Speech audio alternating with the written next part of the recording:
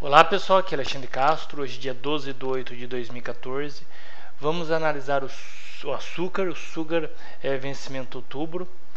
É, Identifiquei aqui uma zona importante de suporte no gráfico diário.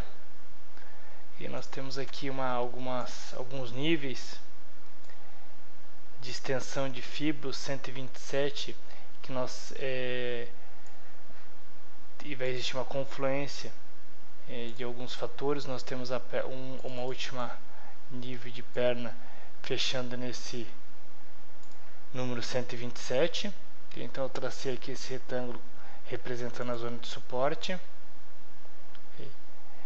E uma entrada, uma possível entrada aí, uma entrada da força compradora acima de 16,41. Acima de 16,41 o fechamento acima desse nível pode ser é, num gráfico menor de 4 horas ou H1 o fechamento acima vai sinalizar aí uma possível entrada aí de força compradora.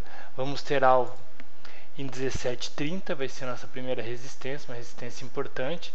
É um alvo longo aí é um, um, uma operação a longo prazo que nós estamos é, analisando após essa forte per, é, perna de, de baixa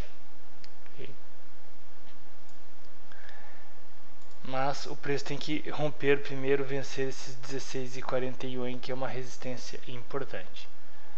Ok, vamos acompanhar então a movimentação do açúcar, vencimento outubro.